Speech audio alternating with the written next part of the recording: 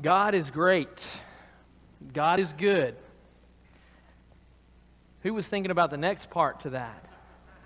And we thank Him for our food. Are you hungry this morning? Well, I'm sure you are now. now that I've mentioned it. Be glad I put a, an empty plate up there and not one full of fried chicken and, and other things. You know, we're looking at this concept of uh, being hungry and thirsty for something more than filling our bellies. And so, no, you, you don't. Uh, I hope that wasn't a reminder for you to, to make that uh, reservation for lunch today. But you know, uh, as Brother England mentioned, when it comes to when, we, when he was focusing on our giving, you know, we have a lot of things that are on our plate. And I, I don't know what is on your plate this morning. But I know that your plate, your specific plate, the specific things that, are, that make up your life and the things that are going on in your life right now, whether it is bad or whether it is good, your plate cannot offer satisfaction. It cannot offer fulfillment. Blessed are those who hunger and thirst for righteousness, for they shall be filled. They shall be satisfied. This is what we're going to be focusing on this morning. And we have a lot of things to look at. We're going to be looking at uh, six different things that, that Jesus spoke of when he said, You have heard that was said, but I say to you. He's trying to explain to us what righteousness is all about. And we're going to be looking at that this morning. But when we, when we understand that we are to seek first the kingdom of God and his righteousness, Jesus said that all these things will be added unto us later on in this Sermon on the Mount. He's explaining to us that it is not our righteousness, it's not what we put on our plate, it's what he gives us, it is what he commands for us. His righteousness is what we must seek first, and we were reminded of that also this morning. And so when we do this, how are we to focus? How are we to seek first the kingdom of God? How are we to do that? Well, we've been focusing for the last several weeks on what the early church did. The 3,000, when they obeyed the gospel, now what? What was the focus? In Acts 2 and verse 42, and they were devoted to the apostles' teaching, to the fellowship, to the breaking of bread, and the prayers. That was what they were focused on that's what they, they, they put their focus on to press forward. That's what they filled their plate with. So this morning, as we, as we look to, to Jesus' righteousness, to his righteousness and not our own, we will see what true satisfaction is all about. And it starts with the claim. The claim has been the same throughout for all of the, the nine Beatitudes. It will be the same. Blessed. Blessed it is a, a, recipient of divine favor, was what that word meant to a, a Christian at that time, a, a Jew on the day of Pentecost. A Jew who sat down uh, to listen to the Master speak uh, when he did the Sermon on the Mount. A divine recipient. And so, the early church, did they experience this? Did they experience these blessings? We've looked at specific things uh, that showed the providence of the early church and how they recognized that the church was not theirs, it was Christ's. And that is what, bond, what bonded them together, what brought them together. And so this morning, we have that same focus. If, if we have that same understanding, we too will realize that we are blessed. You know, I want us to look at verse 46 there in Acts chapter 2 you'll turn with me to Acts chapter 2 and verse 46. It says, And day by day, attending the temple together, breaking bread in their homes, they received their food with glad and generous hearts. You know, this was something that they were doing as they were devoted to the apostles' teaching. This is something they did every day, day by day, attending the temple together. They weren't worshiping based on the old law. They were in the outer court. They were in Solomon's portico. They were listening to the apostles' teaching, and that's, that was something they did day by day.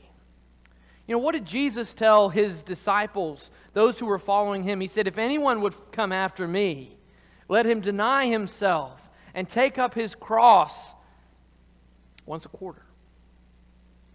Let him take up his cross once a week in the morning, but not in the evening.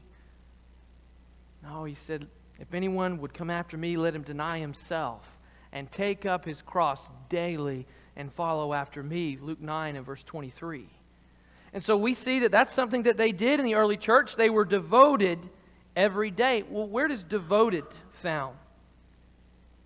Did I just pull that out of the hat? The ESV, I, I, read from the English Standard Version. It's something when, when I was at Freed Hardeman, they used the English Standard Version. And so uh, my parents got me this for, for graduation, so I'm using it. But notice this word for attending in verse 46. You know, you've all fulfilled that this morning. You're attending, you're here. But the word for attending meant specifically busy, busily, that's hard to say specifically busily. Busily engaged in.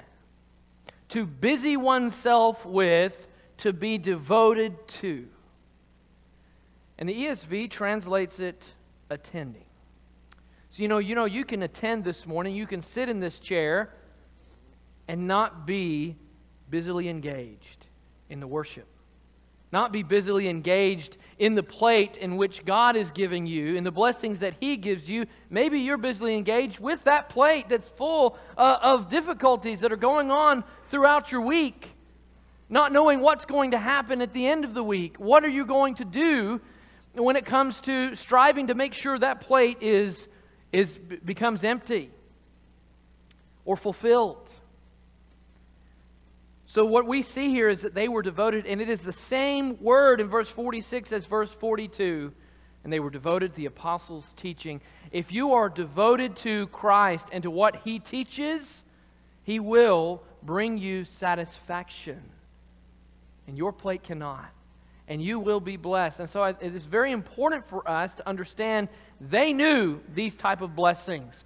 They knew that their blessings didn't come from their own hand, it didn't come from their own abilities. It came from God. And so for us this morning, we must have that understanding for us to go forward. And with that, that's the only way we can understand this characteristic. That we hunger and thirst for righteousness. If we don't understand the, the claim, if we can't have that claim that we are blessed, then we're not going to hunger and thirst for righteousness. Remember, we talked last week, it was not about our righteousness, our self righteousness. But when we're focused on our own plate, it can become self righteous. And actually, in, in verse 20 of Matthew 5, Jesus says, Unless your righteousness exceeds that of the scribes and Pharisees, you will not enter the kingdom of heaven. Unless your righteousness goes beyond that of the day, the teaching of the day, you'll not enter the kingdom of heaven. So he's about to explain that there is a righteousness, there is an understanding of the day that is accepted, that would not allow you to enter the kingdom of heaven. Remember the audience for Jesus here. These are Jews who, who would have depended on the scribes and the Pharisees to give them their understanding of the law. So, what Jesus is about to tell them is going to blow their minds everything they thought was wrong. At that very moment, they think they're the greatest. They think they are the rich in spirit if they're a Pharisee, if they're a scribe. And that is the very foundation. He said, Blessed are the poor in spirit, for theirs is the kingdom of heaven. We have to see that what the Pharisees taught went against what Jesus is teaching. So we're going to focus there are six of these, as I said before. This morning, we're going to look at three because there is a lot of information here. I'm going to try my best for us to get through these in a, in a way that will, will handle the text. But let me tell you, there, we could spend a year on this topic And we're going to focus on this for it for this morning. We could spend a year on each one of these, but we're going to look briefly at all three. This concept of hungering and thirsting for righteousness, there, look at verse 21. He talks about anger. And, and he focuses on righteous living. If you'll recall, this is the first step in, in a Christian life. Remember, the first three Beatitudes have everything to do with how you stand as a Christian. Well, this is the first Beatitude that, that helps us begin our Christian walk.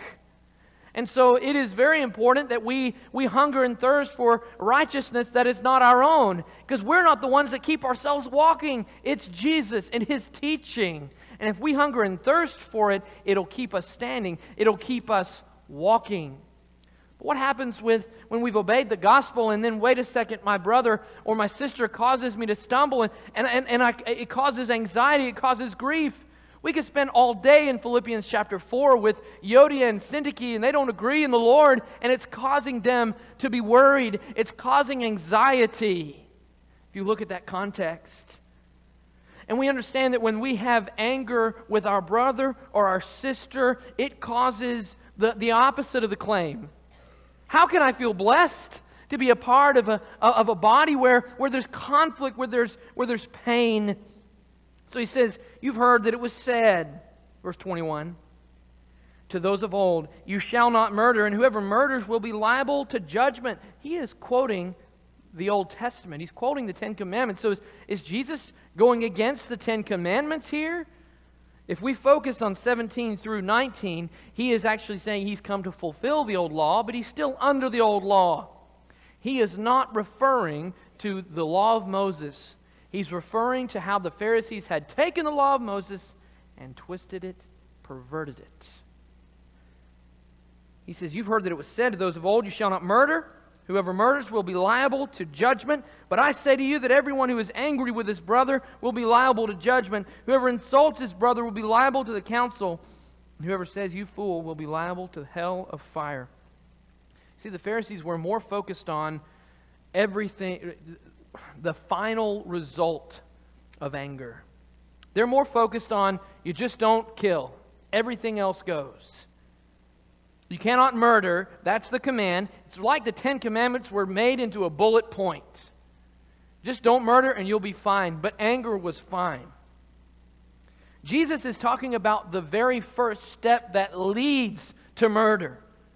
You know, if you're going to murder someone, this is something that, that we would think, wow, that's way out of uh, uh, uh in left field. I, I wouldn't murder, but I'll sure be angry with my brother or my sister. You see, anger, if someone's going to murder someone, anger is most likely where it starts. Jesus is more concerned with the beginning and harboring that kind of ill will. And if hate is allowed to stand, where does that lead? Murder. They're more concerned with the end result. Jesus is he's concerned with the beginning because he says what? You are the light of the world. A city set on a hill cannot be hidden. Nor do people light a lamp and put it under a basket, but on a stand, and it gives light to all in the house. In the same way, let your light so shine before others so that may, they may see your anger with them. So they may see your good works and give glory to your Father who is in heaven. You know, sometimes we, we get focused on our own righteousness and thinking, look how good of a Christian I am. And people might see how great we are and say, wow, that I want to be like so and so. You know, if they do that and we're striving to follow God and we get the glory for it, no wonder this world hates God. No wonder this world doesn't want anything to do with Jesus Christ. We're taking the credit, we're putting a light under a basket. And if we do that kind of thing, then we can allow anger to stand. We can allow certain things to stand. And not even think about our influence. That's what Jesus is focused on. He's talking about righteous living with our brother and sister, but what about righteous living with God? What does this anger do if it remains? Verse 23 So if you are offering your gift at the altar and there remember that your brother has something against you, Leave your gift there before the altar and go. First be reconciled to your brother, and then come and offer your gift. So he's saying that this anger with your brother, it actually affects your worship to God. If you allow anger when you come to worship God, it is going to affect your connection to God.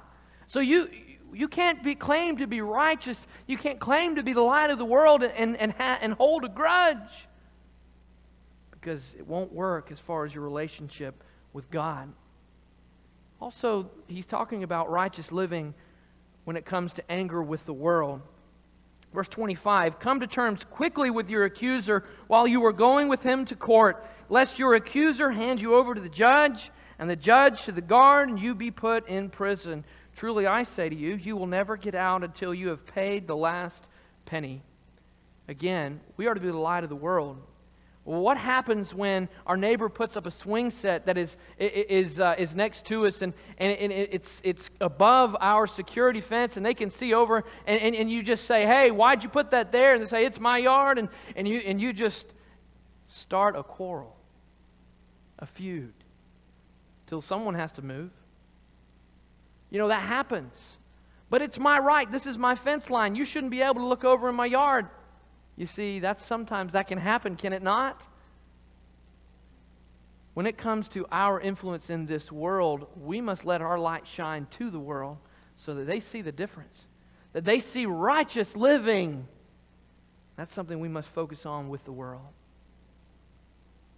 What about righteous living when it comes to lust? If you will, look at verse 27. Specifically, righteous living with our neighbor and our neighbor's wife. You've heard, verse 27, that it was said, You shall not commit adultery. Again, this is one of the Ten Commandments. Again, Jesus is focused more on the beginning, on something that leads to adultery, than on the end result of sin. That's why he mentions this in verse 28. But I say to you that everyone who looks at a woman with lustful intent has already committed adultery with her in his heart. Do you see what he's saying here? Jesus is, is concerned with where our eyes are focused. He's concerned with this concept. And this day and age, we are inundated on cable, television. We're inundated on our, our, our internet. And it comes into our phone that we can hold in our breast pocket. Satan has been able to use this tool as a weapon against righteous living. He is able to take, take people who are, are striving to follow God and who are going to struggle secretly with this very concept.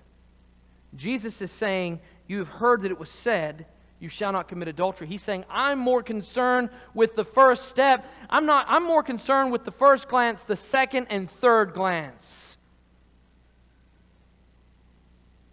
So much so, he tells us how to have righteous living with the surrounding world. He's saying this, verse 29 If your right eye causes you to sin, tear it out and throw it away. For it is better that you lose one of your members than that your whole body be thrown into hell. And if your right hand causes you to sin, cut it off and throw it away. For it is better that you lose one of your members than that your whole body go into hell. You see what Jesus is saying here? He's, he's saying what's on the line. If you're filling your plate with, with with, with lustful images, with things that, that would turn you away, with anger, he's saying, get rid of it. Even if it means cutting your eyes out, if it means cutting off your hand, that's not figurative.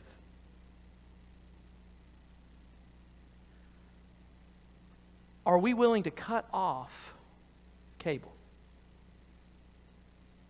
so that we don't fall down this path? Are we willing to cut off the internet? Are we willing to cut off the phone plan? Maybe we need to go from a smartphone to a flip phone. Are we willing to do this? Because look at what he's saying is on the line hell. That's what Jesus teaches. So many times we water down what Jesus teaches to say, well, WWJD, I, I had it on my wrist for years until the thing rotted off. that was a bracelet, WWJD bracelet. And sometimes we just say, well, what would Jesus do? It is a very good guideline. But he actually tells us what we must do. He's telling us how to re- live a righteous life surrounded by the world. Cut off what needs to be cut off in order for us to enter heaven, even if it means that we don't have the, the joy that is in this life that we think will be joyful. And finally, he says here for our focus righteous living when it comes to your spouse. Verse 31 It was also said, Whoever divorces his wife, let him give her a certificate of divorce. But I say to you that everyone who divorces his wife, except on the ground of sexual immorality, makes her commit adultery, and whoever marries a divorced woman commits adultery. Jesus tells it plainly. And there is, this is one of the most heated discussions in, in, in the church, in this world, when it comes to the concept of divorce and remarriage. And I'm not going to stand here and say this is an easy concept. We have definitely made it difficult, have we not? And I can't handle every situation that we bring to this scripture. But my concern and my prayer for you is that you take the scripture, please hear me, that you take the scripture and apply it to your situation, not your situation and apply it to the scripture. Because Jesus is telling you the truth he is telling you what it means to be a part of the kingdom of heaven, and that is eternal life in, in opposed to eternal damnation. Who would, who would I be if I just skipped this section? I, have preached this before, and, and I've had someone come to me in my office and said, How could you preach that lesson? And we were going through the Sermon on the Mount. I said, Well, he said, I need to be able to respect the preacher where I'm attending. I said, Would you have been able to respect me if I skipped that section? Because I know I wouldn't have been able to respect myself. This is not easy. And I am not saying it with a smile on my face. But what Jesus is giving you is righteous living. He's giving you what will, what will, will give you the light and help you to radiate it. And He's telling you how you can be satisfied. He's telling you that you can have satisfaction guaranteed. But I'd like to mention, before we get to that, that focus, he says, I- would like for us to see what the scribes and the Pharisees had taken with the command of, of, of thou shalt not commit adultery. They have not just the law, they had, they had written the Talmud which is complete with their, their traditions, the Mishnah. And in this tradition, again, this is not the Word of God. This is not the old law. This was their way of showing how they could follow the old law. It said this If a woman was betrothed on condition that she, was, that she has no bodily defects, and she was found to have such defects, her betrothal is invalid. If he married her without making any conditions, and she was found to have bodily defects, she may be divorced without a ketubah. All defects which disqualify priests disqualify women also. I looked at the old law and, and, looked at what disqualified a priest from being able to serve God in the temple. So, this is what this is saying. If the woman, if the wife has a broken foot, if the wife has a broken hand, or one leg longer than the other, he could divorce her. In essence, what the Pharisees and scribes had done is they had put a man on the level of God with his priests. They had put themselves on the level of God to add that kind of, of heinous requirement. Remember in, in Matthew 19, they asked Jesus, what do you say about divorce? Moses allowed us to, to, to, to per- permitted us to give a certificate of divorce. And what did Jesus say? Because of the hardness of your heart, he permitted it. So many times we look at our own lives and, and we may look at our spouse and, and we may see, well, I'm not happy with this situation. And what does that lead to? Well, I want to be happy. God would want me to be happy. Have you heard that before? He wouldn't want you to do something that would be against what he taught. Isn't that the biggest lie? The scribes and the Pharisees had taken God's law for priests and applied it to a man with his wife. How heinous and how disgusting. But we do it every day when we say, Well, I just want to be happy. If we think we can harbor anger in our hearts, if we allow our eyes to be filled with lustful images, if we are callous to the idea of divorce for any reason other than what Christ prescribed, we are living for self righteousness and not God's. We are filling our plate with self righteousness. And everything we do is going to fill our plate, but we will never be fulfilled. We will, ne- we will always go away hungry. What Jesus is explaining is that you can find satisfaction when you're willing to fill your plate with what He teaches. You'll be blessed if you hunger and thirst for righteousness, His righteousness. Do you hunger and thirst for his characteristic of upright behavior. It's not an upright behavior that's based on what you see in the, in the, in the school line when you pick up your child. It's not based on what society tells you is right or what is wrong. It's based on what God is telling you this morning. He is telling you that you will be satisfied, you will be fulfilled if this is a part of your Christian walk. Isn't this amazing? This is the beginning of his, uh, of his Sermon on the Mount, and he's telling us how we need to live a Christian life. See, so many times we just assume what Jesus is teaching. We just assume that, well, I'll follow Jesus, or, or you know, God is love, and He'd want me to be happy. And, and we go away from, and we just close the Sermon on the Mount. We close it. We don't read it. We don't study it. We don't apply it to our lives. We can get angry and we can leave. Because I don't like how things are going, and so I'm going to go find another church. Let me tell you, you can find another uh, establishment, you can find another building that, that might have a steeple with a cross on it, and it might even be bigger than that one. But if they're not teaching what Christ, who hung on that cross, taught, then you will never be satisfied. And He is telling you what will get you into heaven and keep you out of hell. And that's why I'm here this morning to proclaim this message. And it is not an easy one, but it's something that He's offering to you so that you can be satisfied. I don't know what I don't know what's on your plate this morning. I don't know how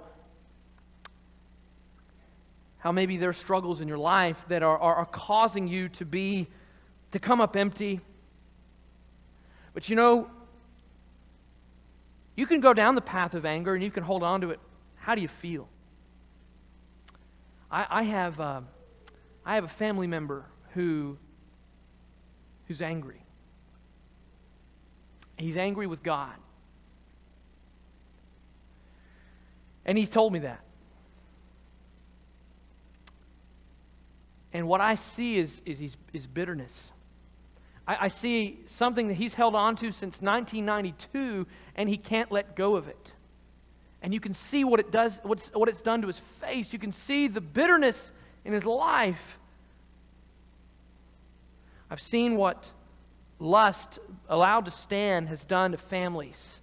It's destroyed relationships, marriages, broken homes. And I know you've seen it as well. Seen what divorce has done to, to our society, to the fabric, the nucleus, the family. And we look and we want to say, well, it's, it's the policies of the, uh, of, of the government, it's, it's, that's what's going to fix it. No, Jesus is offering what satisfaction can really be. If we're willing to follow Him, people will start seeing the light again. It will radiate so bright that people will want to see, hey, I want to be a part of that. And we'll be a city that is set on a hill and it cannot be hidden. Maybe this morning you've been trying to hide from God. Maybe you've been under that basket for too long. And, and you, you became a Christian and, and you were shining bright, but this sin has crept in and it is just blocking out that sun. What, did, what do you need to cut off? What do you need to cut away from your life so that you can be a bright and shining Christian again? This invitation is for you to make sure that your life is right with God. Sometimes that is just, it seems like it's wired shut. It seems like there's a, there's a lock and the, and the key is gone. And it's just staying there. Maybe you need somebody to help you. Maybe you need the prayers of this congregation. Maybe there's someone here that you, you respect, you trust. I know we all love and, and respect and appreciate one another. It's not in, in uh, it's not in against anyone. Maybe there's someone that you need to talk to. You need to share your struggles with. I want you to find that person. But maybe it's something that you've done openly that, that you know you, you, you've been a reproach on Christ and His church, and you need the prayers of the assembly, of, of us together. This invitation is for you. Maybe this morning you've never obeyed the gospel and you've been trying to fill your plate with your own, your own devices, your own self righteousness, and you want what Christ is offering you. You, you got to repent of your sins, confessing that Jesus is Lord, and be baptized in His name so that you can rise to walk in a new life. Satisfaction. Whatever your need is this morning, I pray that you'll make it known. You'll come. Let's stand and sing the invitation.